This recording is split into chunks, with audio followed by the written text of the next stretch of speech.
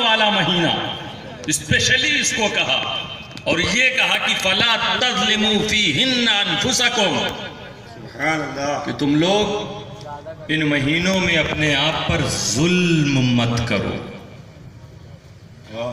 ظلم کبھی بھی روا نہیں ہے۔ کبھی بھی نہیں کر سکتے ظلم۔ کسی بھی دن کسی بھی مہینے۔ لیکن خاص ان مہینوں میں۔ تو ہمیں اور زیادہ اٹینشن میں رہنا ہوگا ان مہینوں میں۔ اس کا مطلب ہے کہ جو ہمارا دشمن ہے جسے ہم شیطان کہتے ہیں وہ ان مہینوں میں ہمیں زیادہ بہکا سکتا ہے۔ جی۔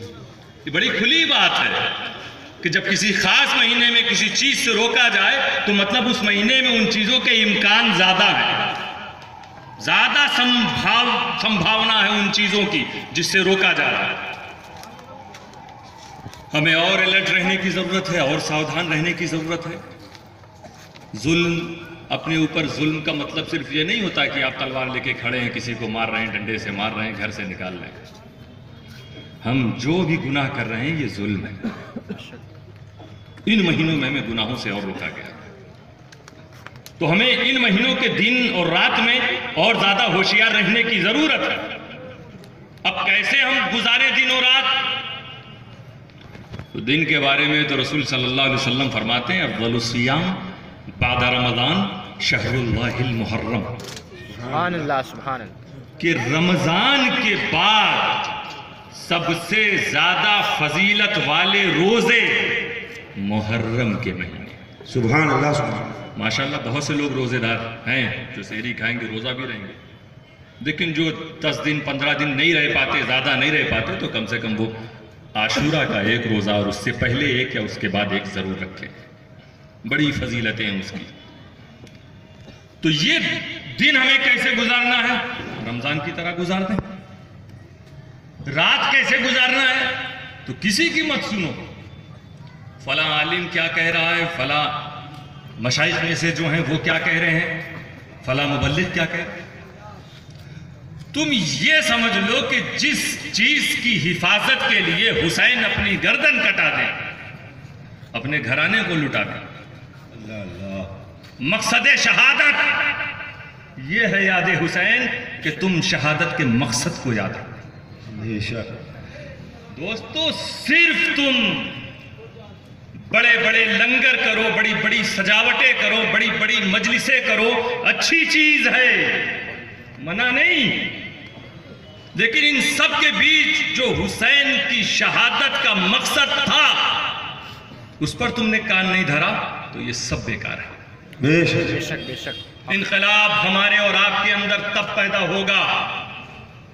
ہم سچے حسینی اس وقت کہلائیں گے۔ ہمارے نعرے یا حسین میں طاقت اس وقت پیدا ہوگی جب ہم امام حسین کے نقش قدم پر چلتے نظر آئیں۔ بے شک سبحان اللہ۔ اور امام حسین کی شہادت کا مقصد صرف اور صرف شریعت کے قانون کی حفاظت۔ ہے بے شک بے شک ایک ہی مقصد تھا اور کوئی بات نہیں۔ تھی۔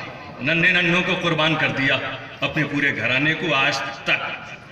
چودہ سو سال سے لے کر آج تک آج سے قیامت تک ایسا خاندان نہیں ملے گا کسی کو۔ اپنے پورے گھرانے کو امت کے بچانے کے لیے لٹا دے۔ ایک ہی مقصد شریعت کی حفاظت۔ تو اب ہم دن گزارے یا رات گزارے اگر کہیں بھی شریعت کے قانون کی مخالفت ہوئی تو ایسے کسی جشن کسی عرس کسی جلوس کسی جلسے سے امام حسین خوش نہیں ہوں گے۔ بڑے پتے کی بات ہے آسان بات ہے زیادہ اس پہ بحث کی ضرورت نہیں۔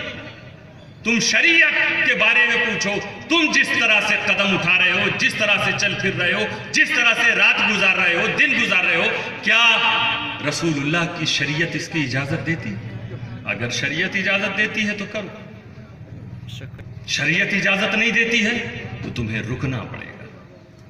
پھر وہاں یہ نہیں دیکھا جائے گا یہ محبت میں کیا جا رہا ہے یہ چاہت میں کیا جا رہا ہے یہ عشق میں کیا جا رہا ہے۔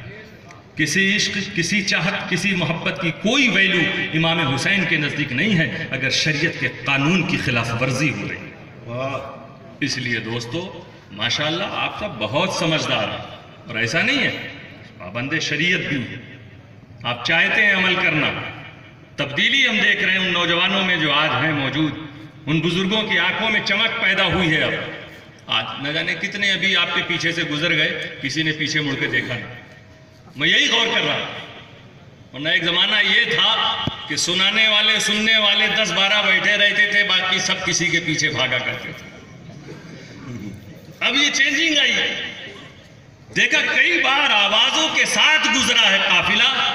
مگر یہ سچے حسینی اس طرف نعرہ تکبیر نعرہ رسالت عظمت اہل بیت۔ حضور حسن میاں صاحب قبلہ۔ میں زیادہ وقت نہیں لوں گا کیونکہ ام محترم انشاءاللہ تعالیٰ ایک عظیم الشان خطاب آپ کے سامنے پیش کریں گے۔ آٹھ تاریخ کو اللہ نے چاہا تو وہ خطاب ہوگا۔ اللہ تعالیٰ فیضان انیس الرحمن کمیٹی کے ہر فرد کی اس کوشش کو اور قوت عطا فرمائے۔